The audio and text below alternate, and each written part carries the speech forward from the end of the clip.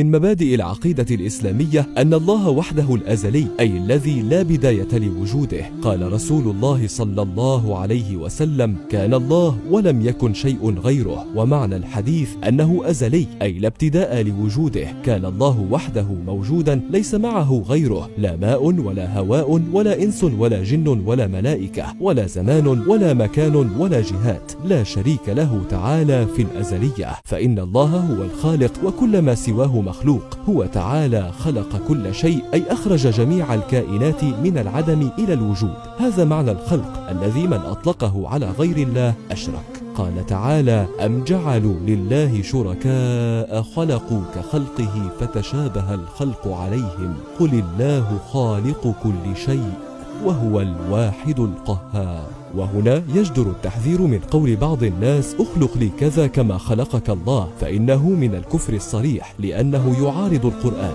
فإن كل ما دخل في الوجود من الأجسام وحركاتها وسكناتها وسائر صفاتها والنوايا والخواطر فهو بخلق الله لم يخلقه أحد سوى الله. وإن أول مخلوقات الله الماء ويدل على ذلك الحديث الصحيح الذي رواه ابن حبان إن الله خلق كل شيء من الماء. فالماء أصل المخلوقات وبوجود الماء وجد المكان والزمان وهذا الماء الأول صفاته فيه اختلاف عن الماء الذي نعرفه ولا يزال يوجد منه تحت العرش. قال تعالى وكان عرشه على الماء. والعرش الذي هو سقف الجنة ثاني المخلوقات بعد الماء. ثم خلق الله القلم الأعلى واللوح المحفوظ وهما جسمان عظيمان علويان ليسا كأقلامنا وألواحنا. وقد أمر الله القلم أن يجري على اللوح المحفوظ فجرى بقدرة الله وسطر في اللوح المحفوظ كل ما سيكون في العالم إلى نهاية الدنيا. وبعد خلق الماء والعرش والقلم واللوح بخمسين ألف سنة خلقت السماوات والأرض.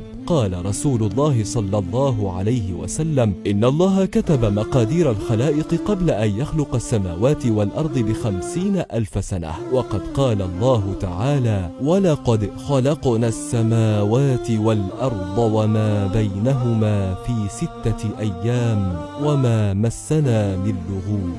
أي لم يمسنا في ذلك عناء فإن ربنا عز وجل يستحيل عليه التعب وسائر صفات النقصان سبحانه جل عن مشابهة المخلوق بأي وجه من الوجوه.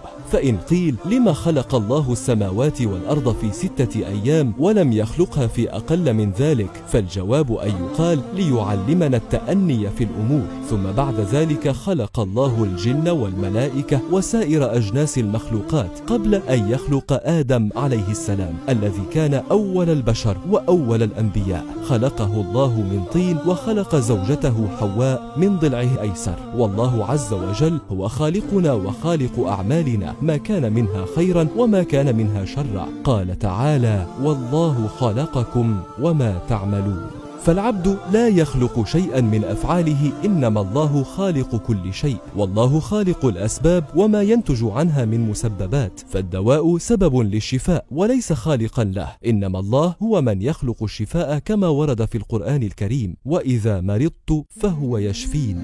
ولا شك أنه سبحانه قادر أن يشفي المريض بدون دواء وإنما يتعاطى الدواء اخذا بالأسباب والخلق كله لله والله كذلك خالق الإشباع في الطعام إذا أشبع وخالق الإحراق في النار إذا أحرقت وخالق القطع في السكين إذا قطعت. سبحانه وتعالى لا خالق سواه. قال تعالى هل من خالق غير الله؟ وهذا استفهام للنهي معناه أنه لا خالق إلا الله.